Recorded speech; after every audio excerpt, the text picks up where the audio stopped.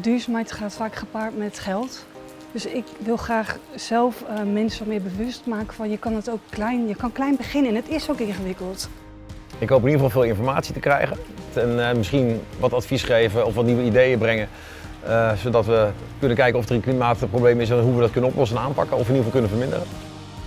Ik ben vooral benieuwd om ook meer te leren over hoe ideeën van burgers gebruikt worden en hoe die tot bruikbare adviezen kunnen leiden. Ik hoop in ieder geval in die zin ergens nog een steentje te verleggen of verschil te kunnen maken voor mijn kinderen, mijn kleinkinderen en alle andere mensen die niet in staat zijn om het te verwoorden, wat ze wel belangrijk vinden.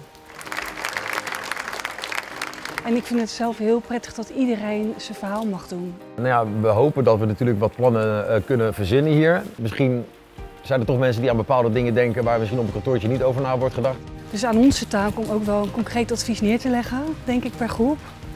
Maar ook wel aan de politiek om dat dan wel echt op te pakken en serieus te nemen. Ja, misschien kan ik op deze manier iets bijdragen uh, daaraan. Ik maak mij ook wel zorgen over de toekomst. Bewaar alsjeblieft een beetje moois voor ons. En zorg dat wij dadelijk niet met jullie puinhopen overblijven.